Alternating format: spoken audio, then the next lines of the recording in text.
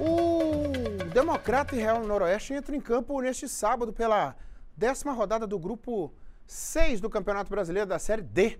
A partida que começa às três e meia da tarde acontece no estádio José Olímpio da Rocha, em Águia Branca, no Espírito Santo. Né? Lembrando que a Pantera permanece dentro da zona de classificação do grupo, né? ocupando a terceira posição com 15 pontos. O Democrata tem 55% de aproveitamento na competição somando quatro vitórias, três empates e duas derrotas. É, a Pantera só deu uns cochilinhos dentro de casa aqui, mas dá para recuperar, né? Dá para recuperar. Viva a nossa Pantera!